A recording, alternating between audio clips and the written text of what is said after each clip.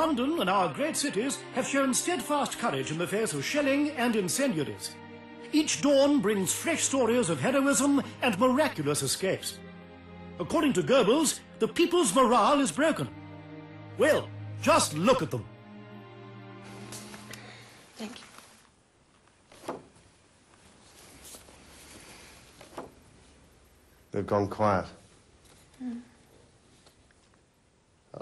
We lost 34 planes. The Nazis lost 182.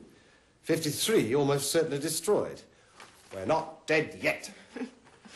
You know, I think our friends are losing the taste for daylight raids. They tend not to come back in one piece.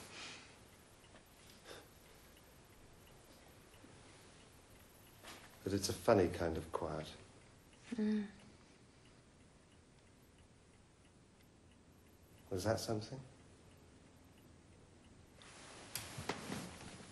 That an aeroplane, do you think? Just so long as it's one of ours. Don't think it is, sir. It's a bloody Hun coming in over the mouth. What an inferno!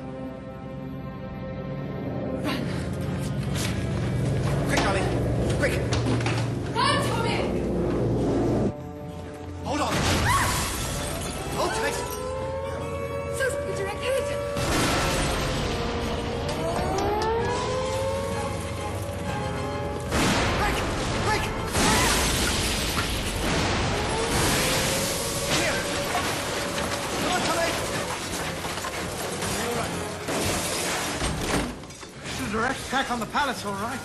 Some pilot knew his way around. Yeah, I, I do have a relative in the German Air Force. Um, the Duke of Saxe Coburg's boy. I think he was at father's funeral, wasn't he? Maybe David gave him a ground plane. Damn close thing. We could all have been killed.